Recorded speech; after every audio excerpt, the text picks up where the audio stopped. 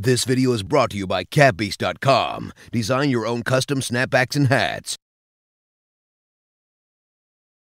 I'm looking forward to the adjustments When, that will be made. When I look at the Bucks and I, and I see how they played today, I wonder what could they do better. What adjustments That's would what I they wanna know. make? Because pretty much the Celtics got everything they wanted. They scored in the paint. They out rebounded. Kyrie, who's supposed to be a focal point of your scouting report, did whatever he wanted. But Coach Bud, obviously a great coach. So what do you He do? definitely has to play better, but as a team, I don't, I don't, I don't know where Milwaukee goes from here. Because What do I- Whoa, whoa, whoa, whoa. So is this over?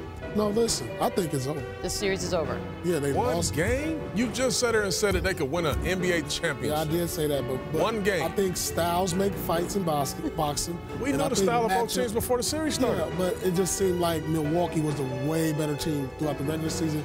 But when I watch this, when I watch this today, if Giannis doesn't have a monster game and somebody else beside, besides him doesn't step up, Boston is just going to out talent to rebound after losing game one at home by 22 points to the Celtics. Paul, you told America right after that game on Sunday you think this series is over already. Over. By the way, the copy in here says essentially over. You didn't say essentially over. You said this is over. Are you over. still 100% confident, Oh, I'm the Bucks can't come back and win? I mean, they may win a game, maybe two, but I just look at the talent disparity on these two ball clubs. Look at our faces. I'm just like, No, look- look at- You Boston Celtics fans are right now.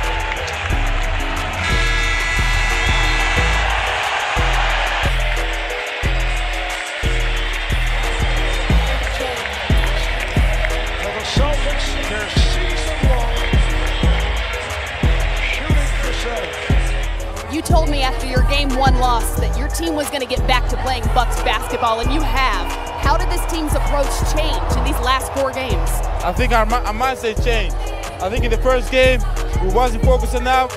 We wasn't ourselves. I think in the uh, next four games, we came out, we came with a different approach, a different mindset, a killing mindset, and uh, we was able to win these four games. Should the Cavs want Rose back?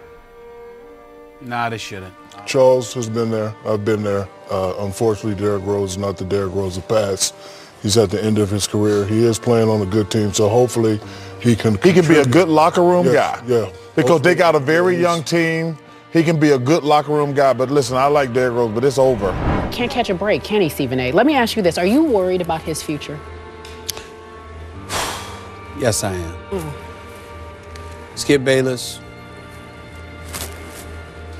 Uh, this is obviously uh, you're sad for an entirely different reason, but nevertheless sad altogether because Derrick Rose, as far as I'm concerned, is finished. Derrick Rose has missed 212 in four seasons and played 106. It's great that Derrick Rose had a nice night, but he's shooting 39% the last three years. He is a low assist point guard and not an elite defender. He had a super duper game last night. Just like sometimes LeBron is awful, but it doesn't define what he is. I don't need your validation. Like I know who I am. I know what type of player I am. To the Utah Jazz here tonight, and they start the third quarter on a high note. Rose attacks, challenges Gobert, and Gobert couldn't get there in time. Billy's playing well for Sacramento. 21 points for Belly last night. Rose playing really well for the Timberwolves. Being able to get back out to cover angles. First assist of the night for Gobert. Rose continuing to attack Rudy. Interesting, Jim, that the Jazz and the Timberwolves, they won't meet again until the new year. As Rose now up to 27. Love the I need more cowbell. Love the anchor man as well. Derrick Rose. Derrick Rose just keeps putting them in.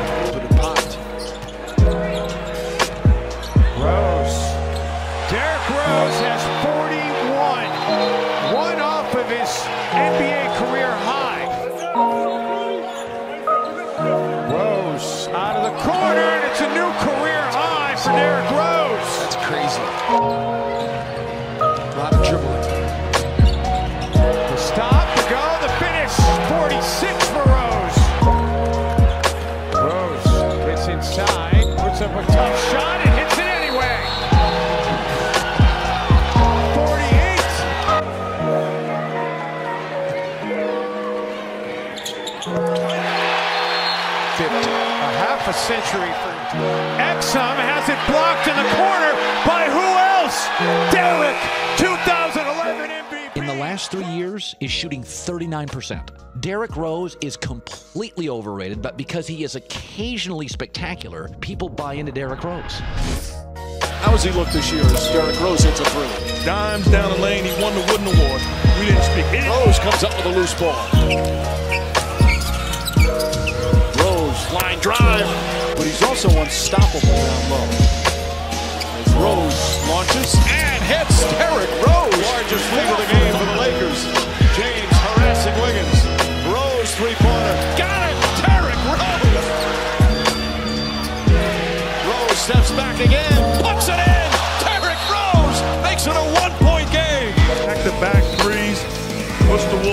this ball game. Tough shots.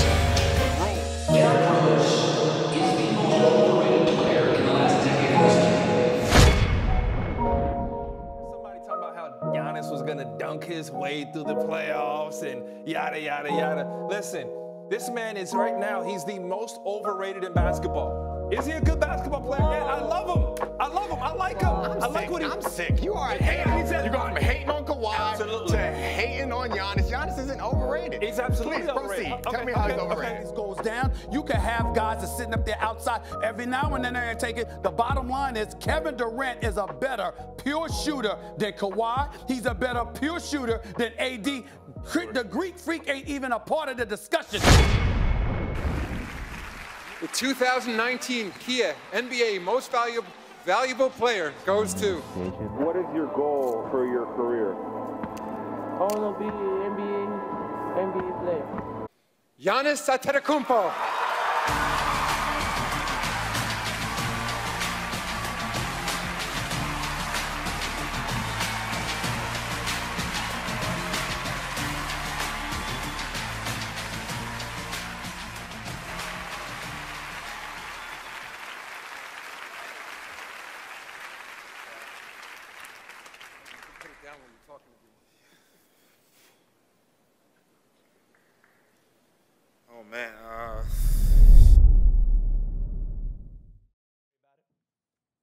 Well, you should be worried. You should be very worried because it's one game into the series, and I'm already hit ready to. I'm already ready to declare this series is over. They can't beat these boys. I'm going to tell you that right now.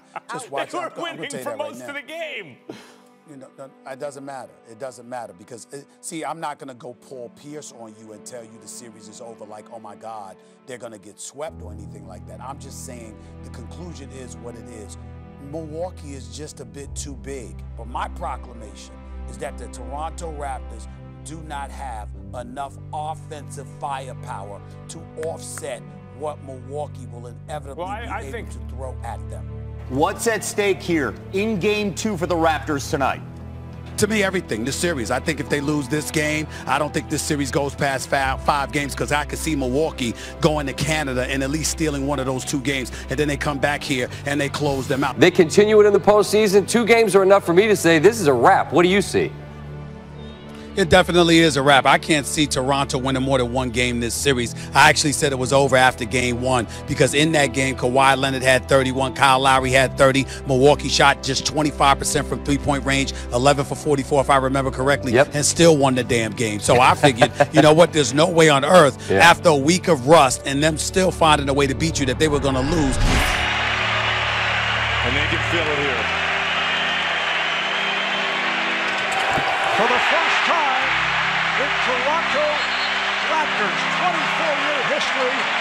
They will be headed to the NBA Finals. Milwaukee just took a timeout. And the Raptors will go up against the two-time defending champion Golden State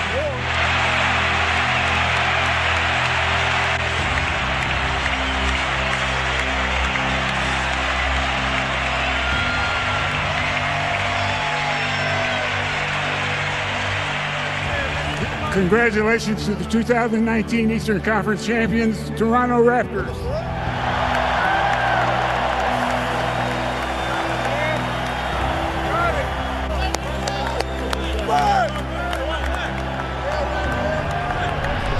I'm stunned. I thought it was over after game one. I'm not sure who's gonna win the East. You're wrong, and you know it. Milwaukee's definitely going to win the East. Oh, well, I don't think you. I don't think you can say definitely gonna win the East. Yeah, I think definitely gonna they're- win the East. I think they're probably the favorites. You talking about regular season I'm talking about the whole thing? You talking about the whole thing? Yeah, I'm talking about playoffs. Oh, wow. Yeah.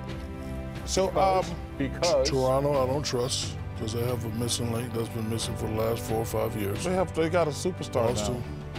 Yeah, it takes more than one superstar. You should know that. That's why you never won. entirely separate, and apart from that, we'll go from there. Number two, when you talk about the Golden State Warriors, you know what? My answer would be no, it's not too much for them to overcome. Not tomorrow night.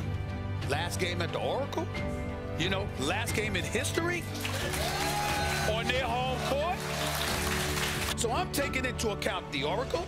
It's game six. It's the last game in history. I'm taking the three days rest as opposed to two days rest. I'm thinking about the fact that you're going to have not just energy, not just rest, but adrenaline. I'm thinking you can ride that wave. You are up 3 1. You didn't have a city rooting for you. You got a nation. And then all of a sudden, a three from Clay, yeah. A three from Steph, yeah. A three from Clay, yeah. And it was a wrap. I believe that Kawhi Leonard could play every bit as good in the finals. And if Steph Curry explodes, it don't matter. It don't matter. Steph Curry will have a greater impact towards victory. No, Steph Curry no. get rolling, it's a wrap. No. Let me- I, I go, fact- I go, Max, I go this far. Kawhi Leonard could play the same way he's played. If Steph Curry plays the way we saw him play against Portland, Toronto might get swept. No, and I'll tell you why. How about They cheer on. Leonard makes it official. Now the Warriors just inbound, and that's it. There's a new NBA champion, and it's a team from Toronto, Canada. We, the North, are now we, the champions. The Raptors, the 2019 NBA champs.